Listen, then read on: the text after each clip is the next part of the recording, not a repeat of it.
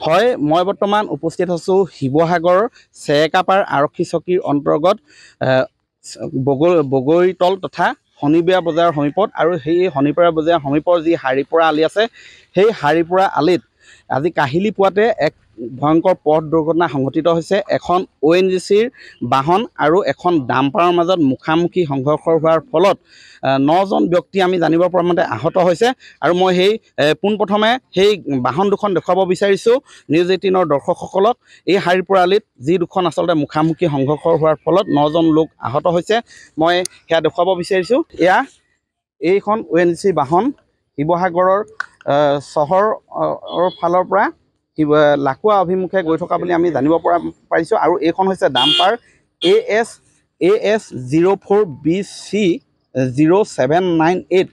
এই ডাম্পাৰখন আৰু অ' এন জি চি বাহনখনৰ মাজত এয়া পথ দুৰ্ঘটনা সংঘটিত হ'ল আৰু কেইবাজনো ব্যক্তি আহত হৈছে।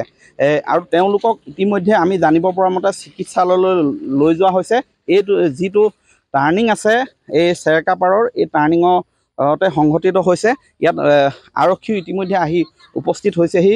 সেইদৰে অ' এন জি চিৰ যি নিৰাপত্তা ৰক্ষী তেওঁলোকো আহি উপস্থিত হৈছেহি।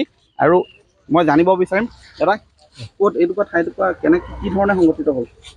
সংগঠিত এডোখৰ টাৰ্ণিং টাৰ্ণিং হোৱাৰ কাৰণে দুপক্ষৰ হ- ৰাতিপুৱা বেলা এইটো হৈছে। আৰু বিশেষ আমি দেখা নাই এতিয়া আহি পাইছোঁ। আহত হৈছে কেইজন? নজনমান হৈছে। নজন বৰ্তমান ন দহজনমান অ' এন জি চি হস্পিটেলত আছে। হয়। তেখেত আছিলে আছাম হোমগাৰ্ডৰ জোৱান। আৰু মই স্থানীয় লোক আছে তেওঁলোকৰ পৰা জানিব বিচাৰিম।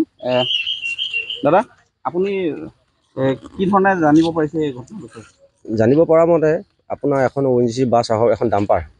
O' N G C বাছখন আপোনাৰ পৰা লাকুৱা গেলেকী অভিমুখে আহিছিল। আৰু যিখন ডাম্পাৰ আপোনাৰ শিৱসাগৰ অভিমুখে আহি আছিল। আহি বৰষুণ দিয়া বতৰত বগৰীতৰ টাৰ্ণিঙত চা- ওচৰত টাৰ্ণিঙত এক্সিডেণ্ট হয়। কেইজন লোক আহত? প্ৰায় নজনমান আহত হৈছে। গুৰুতৰভাৱে মানে আমাৰ ড্ৰাইভাৰজন আহত হৈছে। তেখেতৰ নাম দীপেন ভৰালী আৰু এজন বেটেলিয়ানৰ বেটেলিয়ানৰ নামটো নাজানো। তেওঁলোক শিৱসাগৰ অ' এন চি হস্পিটেলত ড্ৰাইভাৰজনৰ ঘৰ? মেইন তেওঁ ডিমৌত। থাকে তেওঁ দৈকাপাৰত ভাড়াঘৰ কৰি। তেওঁলোকক কলৈ নিয়া হৈছে? এতিয়া অ' এন জি চি হস্পিটেললৈ নিয়া হৈছে শিৱসাগৰ। কি কাৰণে সংঘটিত হ'ল কিবা অনুমান কৰিছে এইটো মানে টাৰ্ণিং এই টাৰ্ণিঙত প্ৰায় এক্সিডেণ্ট হৈয়ে থাকে। আৰু এতিয়া আপোনাৰ চিপচিপীয়া বৰষুণ। বৰষুণৰ ফলতে এইটো হৈছে বুলি ক'ব লাগিব আৰু। হয় ব- এই টাৰ্ণিঙতে সংঘটিত হ'ল আৰু নজন ব্যক্তি গুৰুতৰভাৱে আহত হৈছে। তাৰে এজনৰ অৱস্থা অতি সংকটজনক বুলি সদৰি কৰিছে। বিশেষ বিশেষকৈ এই অ' এন চিৰ যিখন বাছ আছিলে সেই বাছখনৰ চালক দীপেন ভৰালী গুৰুতৰভাৱে আহত হৈছে আৰু তেওঁক অ' এন চিৰ যি শিৱসাগৰস্থিত চিকিৎসালয় আছে সেই চিকিৎসালয়ত ভৰ্তি কৰাইছে। ইপিনে এই দুৰ্ঘটনাৰ ফলত ইয়াত ব্যাপক যান জঁটৰ সৃষ্টি হৈছে। বিশেষকৈ শতাধিক বাহন ইয়াত যাত্ৰী কঢ়িয়াই অনা শতাধিক গাড়ী আবদ্ধ হৈ পৰিছে মই দেখুৱাইছোঁ। এয়া শিৱসাগৰৰ হাৰিপুৰা আলিত পুৱাই সংঘটিত হ'ল এই ধৰণে এক ভয়ংকৰ পথ দুৰ্ঘটনা আৰু নজন ব্যক্তি আহত হোৱা বুলি ইয়াৰ দৰ্শকসকলে আৰু তেওঁলোকক শিৱসাগৰৰ যি অ' এন জি চি চিকিৎসালয় আছে তাত ভৰ্তি কৰিছে।